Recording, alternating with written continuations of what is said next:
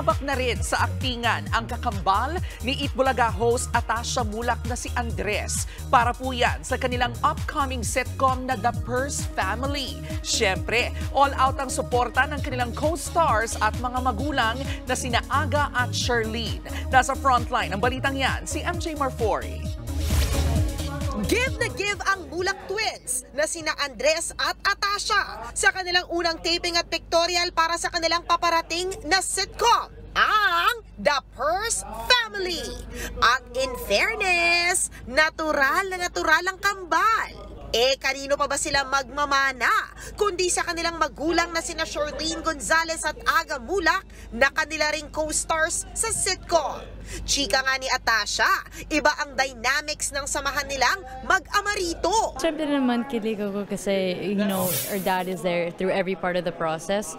But it's also such an honor to be able to work with him. And it's also very pressuring to, you know, see him in his craft, doing his own thing. But it's also a good thing because we're learning so much. Kung si Tash naka-adjust na sa showbiz life, si Andres, first day as an actor today.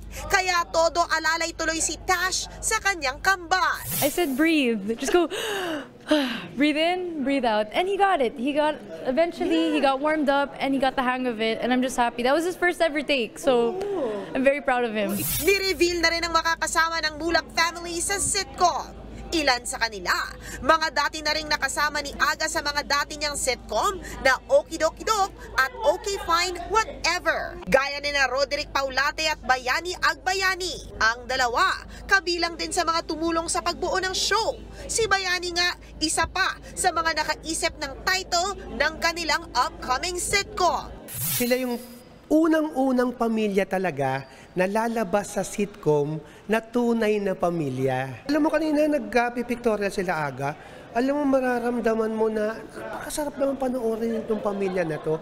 Kaya yung mga manunood talaga makaka-relate sila na ah, ito yung pamilyang totoo na dapat nating panoorin sa isang sitcom kung saan yung pamilya nagpapatawa at the same time nagtuturo ng values. At ang patikim niya sa premise ng The Purse Family.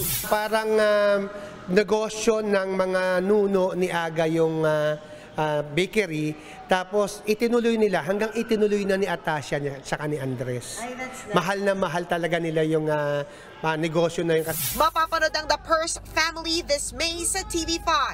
Nagbabalita mula sa Frontline, MJ Marfuri, News 5.